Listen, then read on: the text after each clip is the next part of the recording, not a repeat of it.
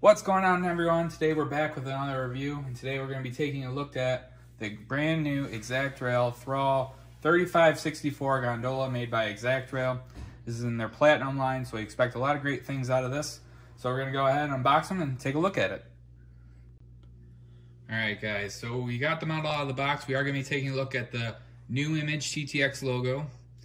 This is Exact Rails. I believe it's their second release. So in this new release that just came out a few weeks ago, there was three new paint schemes, the old TTX, the new TTX, which we have here, and another scheme that I did not purchase, but I'm sure it looks equally as good.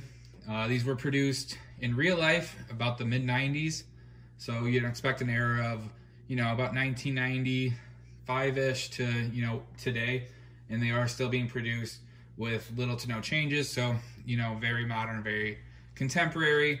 This model does have the um, safety striping, so you know it would fall in that super modern era.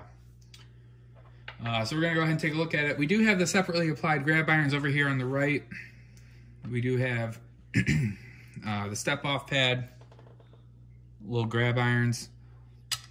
Continuing down, we do have a little bit of detail. Looks like um, ratcheting strap points. Good rib detail there is a little bit, I will say this, um, for the most part, most of the images and logos fit the ribs pretty well. There is just a little bit of a gapage right there. You can see where that maroon portion of the TTX logo doesn't quite fit around, and then on the Railgon portion where that doesn't quite wrap around. But overall, pretty good. You're not really gonna notice it from too far away, and then, like I said, it's right in the corners if you wanna touch it up come over here to the side and we do have the grab irons going all the way up to the top. We do have the step ladder. We do have the wheels. They do have blue rotating bearing caps. The bearing caps do not rotate themselves, but the caps are blue and they do have the car number and road name on the actual truck. That's very nice. I like that. We'll go over here to the side. We have a separately applied ladder, a few grab irons. We do have the Kadee number 58 scale couplers, good metal couplers. We have a wire coupler cut lever, and we do have the MU cable. Plastic with the silver tips, looks pretty good. Some more safety striping over here as well. Go ahead and continue down to the other side. And it's mostly the same detail. Looks pretty good.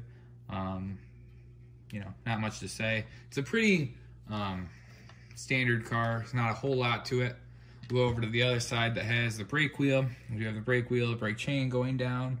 We do have an etched metal brake stand. Looks pretty good.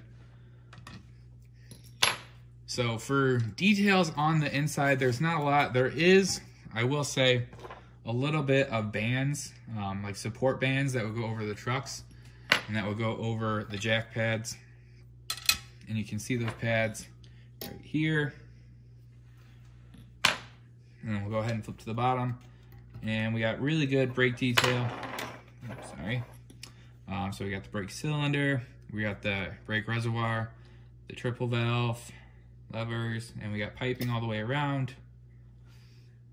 You know, and these trucks just look really good. Um, even though if they don't have the rotating bearing caps, they look really good. Uh, they do have the narrow, um, narrow style draft box. Um, you know, just a bunch of hand applied details. Got machined wheels.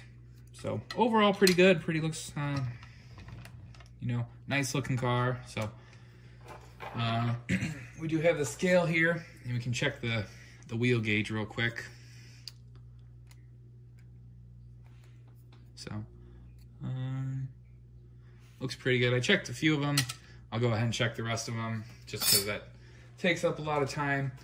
And then we'll go ahead and just throw it on the scale real quick. I don't know the actual length of the car, so I can't give you an extra accurate to see if it's actually close to NMRA, but throw it on 151 grams, 5.36 ounces. It is a really long car, so, um, you know, it feels pretty good in weight, but we'll have to check it out.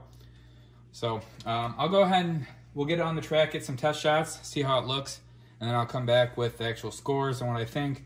And then we do have to give you the coupler heights because I don't know those off the top of my head, and I don't um, I haven't looked at them yet. And we'll go ahead and see if the weight's actually what it's supposed to be. So we'll go ahead and get these on the track. All right, so we're just going to quickly go through the scoring. Overall, the packaging pretty well, no issues. Accuracy also no issues. The models were missing a few features, but I thought it would be pretty difficult to add them at this scale, and I didn't think it'd be really worth it. So didn't take away any points for that. Paint overall really good, really crisp. There was a few issues with the paint not completely wrapping around the ribs, especially on the larger logos, so I took away a point for that. The details overall very nice as well. They are accurate and finely done. Large number of separately applied details. Overall very nice. Couplers, trucks, and wheels. I gave a 14 out of 15. The metal wheels were all engaged. Very nice scale. Kadee number 58s with the scale heads, which I really like. They were at the correct heights. And they the car also had the most nicely done trucks I'd ever seen, but they didn't have roller bearing caps, and I feel at this price point they should. And that the roller bearing caps do a lot more than the nicely done trucks. Operationally, the couplers at the correct height, wheels were engaged. I took the car around the layout and didn't have any issues, and I got quite a few varying radii, so no issues with that. But overall, the model is a little bit underweight, and it seems difficult to add weight without a load. And if you want to run these cars without loads, you might have some issues with just the weight and what the NMRA recommends. Value overall, I gave it an 9 out of 10. Good accurate printing and paint, great detail, but um, it just was missing a few details that are found at this price point.